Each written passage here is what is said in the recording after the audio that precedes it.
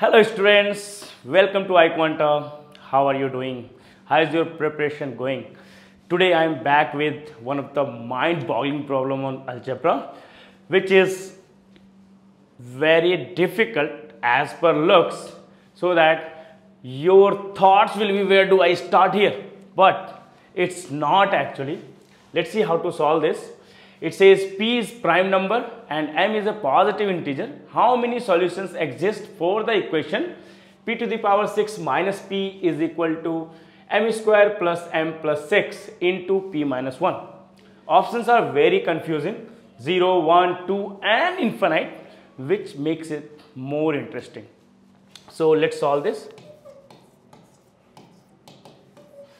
Let's write down this expression. We can write p into p to the power 5 minus 1 is equal to m square plus m plus 6 into p minus 1.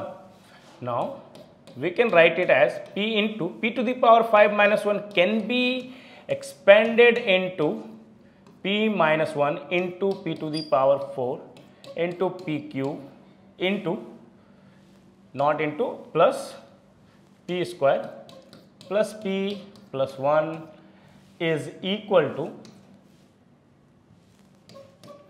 m square plus n plus 6 into p minus 1. Now we can cancel out this p minus 1 term okay and next we are left with p into p to the power 4 plus p cube plus p square plus p plus 1 is equal to m square plus m plus 6. Now, as it looks, this is not a simple equation to solve, not a quadratic equation, not a linear equation. So, we will have to think something out of the box. So, how do we start here? We will start with the properties of prime number.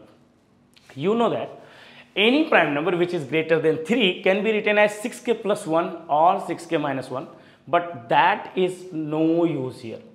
So what other thing that we know? We know that for any prime number, only p is equal to 2 is even and rest of the p, rest of the prime numbers are odd. So let's try to apply that here.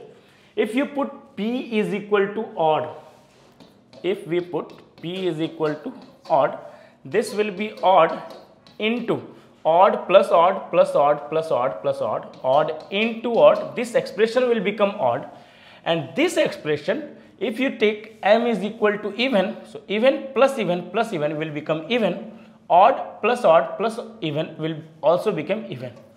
So we can see that this is never a possibility right? This is never a possibility.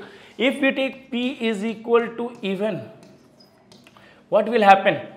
This will be even into this whole term will also be even right this whole expression even plus even plus even plus even this will be odd actually. So, even into odd this is equal to even this is a possibility right. So, we can take p is equal to 2. So, p is equal to 2 we can write that m square plus m plus 6 will be equal to 2 into if you put 2 here you get 31. So, this will become 62 or m square plus m minus 56 is equal to 0 or we can factorize this as m plus 8 into m minus 7 is equal to 0 or m is equal to minus 8 m is equal to 7 m is equal to minus 8 is not a possibility because it's given that m is a positive integer. So m is equal to 7 is the only possibility we need to go ahead with so we have only one solution now. What do we have? So for any prime number p, m, this pair is only one possibility when p is 2, m is equal to 7. So only one solution is possible. So our answer is option B. So how was it? I think that that's an amazing question with the use of very basic concept. So you need to be aware of these type of questions when there is no way to solve, you can go to the basics, right? So that's it for today. I'll be back with more such problems. Till then, thank you. Bye bye.